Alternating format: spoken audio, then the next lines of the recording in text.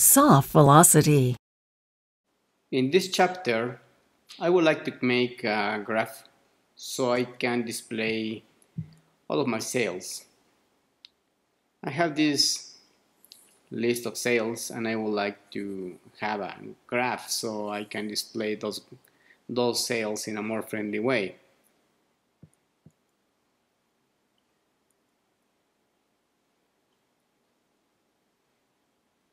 In this case I made a button and I'm going to use this script chart.js. If I read the documentation, it seems very straightforward to implement. And it's very easy to add this code to Clarion. So let's do it. First, I have the script in here I made a folder and I put the script here. Second, I am going to add the script to the skeleton. And let's save the skeleton.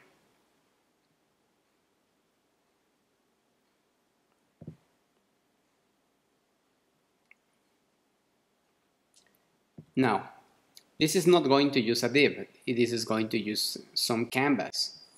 And I will use the ID to refer to that particular chart. Let's do it in Clarion. First, I made a button here, and that button is going to call a simple window. And I have it here. It is just a basic window, nothing extra there is no need to add anything else.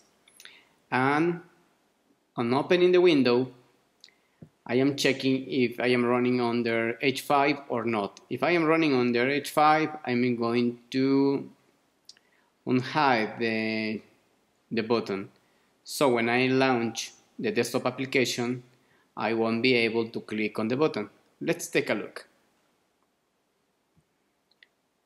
As you can see, there is no button for the graph. It's not going to be useful for the desktop application. It is a pure JavaScript and jQuery code. Therefore, I have to do it in a different way and hide the button when I cannot use it. It's gonna be better this way. Let's make it a reality here. I don't have any embeds now. First, let's think, what are we going to do? Basically, we have to gather all the all the database and I would like to put that database in memory using a queue. Let's make it a routine. And before I do that, let's create the queue. It can be a local queue. Sales, only the date and the amount, because I would like to make a graph using the sales, the, the date, and how much money I made on that particular day. And let's make a routine.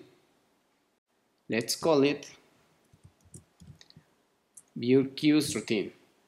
This is going to be a little bit oversimplified because this is not the point on teaching you how to make a, a queue and go over the database in order to fetch all the records that should be put in, in memory. Therefore, I am going to just put the code here. You can download the example and see what I did here. And now let's add the canvas.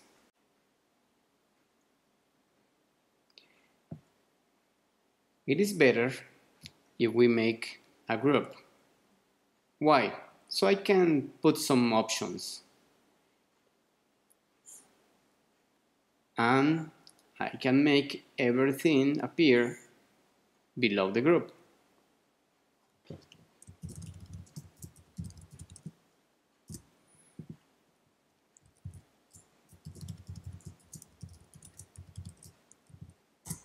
There we go.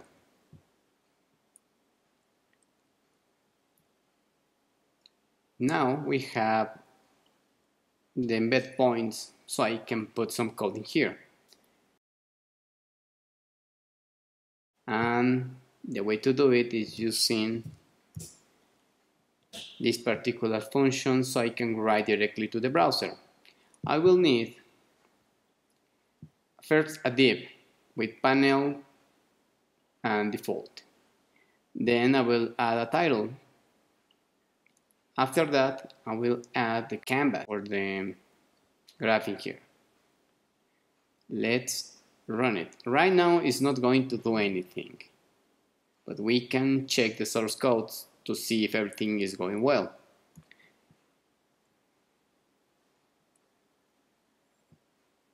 Let's go back here. There we go.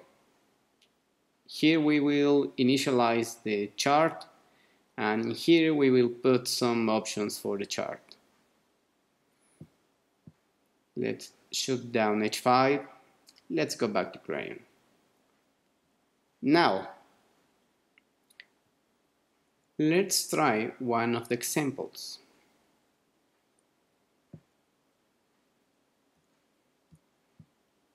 Why? So you can get familiar with the way that the charts are being built.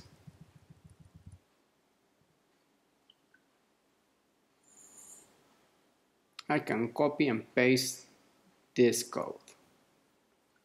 Let's do that.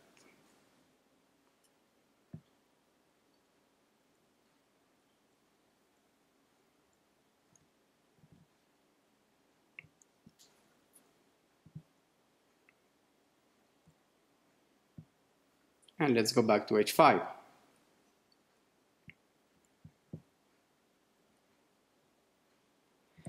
The graph is working properly, but right now we have red, blue, yellow, green, purple, orange. We are not fetching anything from the database. And the main purpose of this example is to get the data from the database so I can build my own dynamic chart. And we are going to do that in this step. Let me erase the code for the sample. We don't need it anymore. We're going to need a few things, few extra things. Let's finish the routines. I'm going to add a second routine here. If we take a look at the example, we had we have some labels. Those labels, in my case, in this particular case, should be the date of the sale. So we can pass this array to the script. And the data. This is something that will change based on the data set.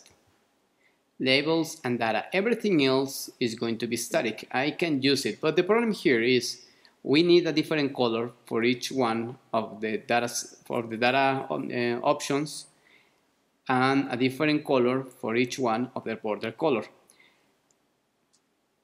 I can make it static, but that is not the point. It's gonna be the same. It's gonna have the same color, and it's going to be the same color for the border too. Therefore, I am going to make a new routine let me explain a little bit of this. I'm using a local var, a few local vars, so I can construct the portions that will change. In this case, I am going to use random for the colors and then I'm going to pass the random colors to the local var so I can construct the, the parameters. We're going to need a couple, a few extra vars. There we go. Basically everything is a string. And now, where can we start building the script? Well, as I told you on a different chapter, it should be below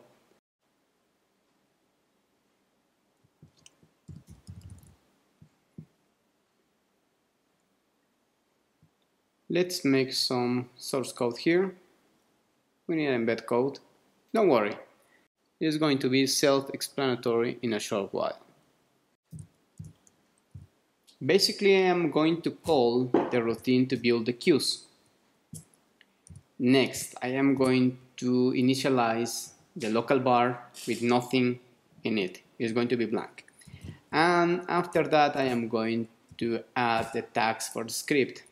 Everything else remains the same, except this. Here, I am going to use the local var and pass it to a different var so I can write directly to the browser the var and it will look the same. Remember, you have to escape some characters, otherwise it is not going to work and it's gonna cause a lot of errors and you don't want that. Now, secondly, we are going to build the labels.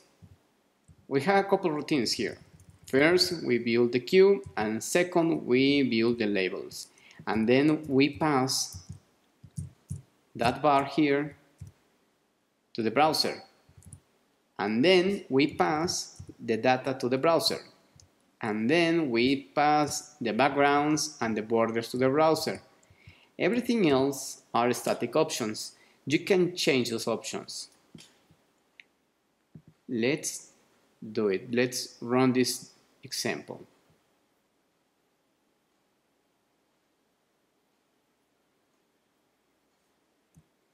Not in here, because this is a desktop application. Nothing is going to appear here. But in H5, we should have a really nice graph. As you can see, we are using different dates for each part of the, the graph. And it works it is working and we can click on it and it is gonna be dynamic and everything else. But what if I want to have a different graph a different kind of chart? Well it is very easy to implement.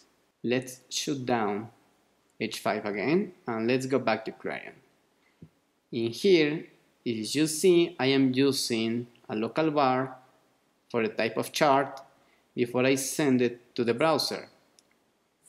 You will see where. Here we have the type of chart in here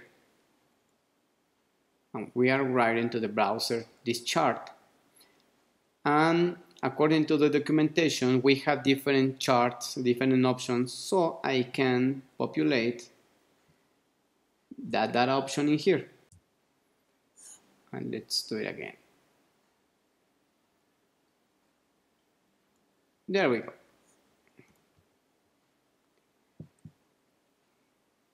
Let's run this application again so we can see the the new changes that we just made.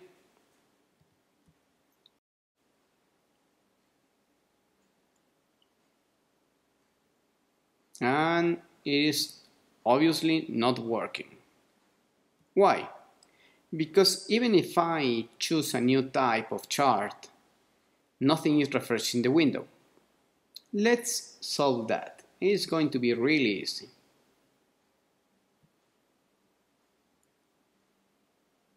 Let's make a new button here. Let's put in here. I'm gonna put it there. And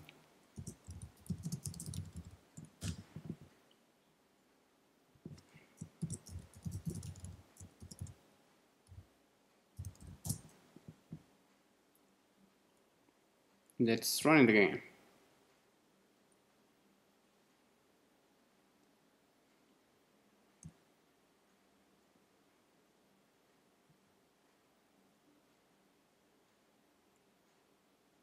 So,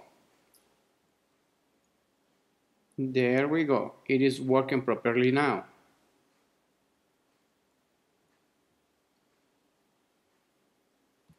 But I don't like the way H5 displaying the options, so let's make a small trick. Let's use a small trick in order to make it a little bit more professional.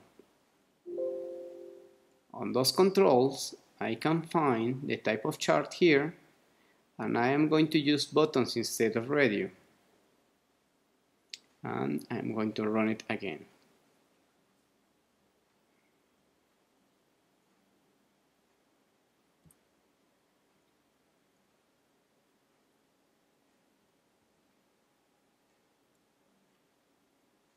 There we go.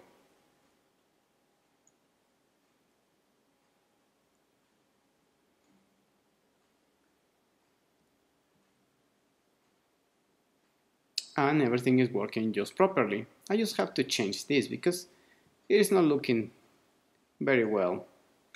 I don't want to use the name for the local var, so let's change that.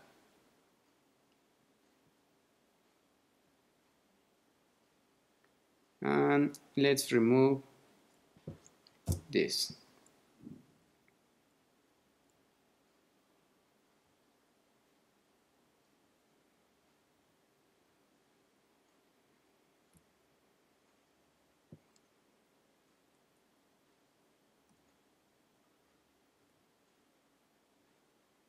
and now it looks way better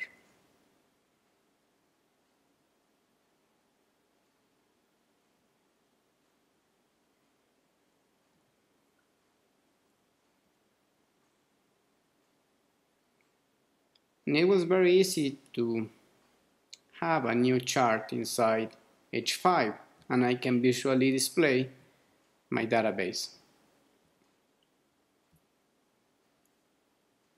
Now let's take a look what happens if we are using a phone. Well, basically it will it will be responsive. And that's fantastic because sometimes we will be using a phone in order to browse the database. And you have a complete integration and a very good solution with H5 and certain scripts extending the capabilities of H5.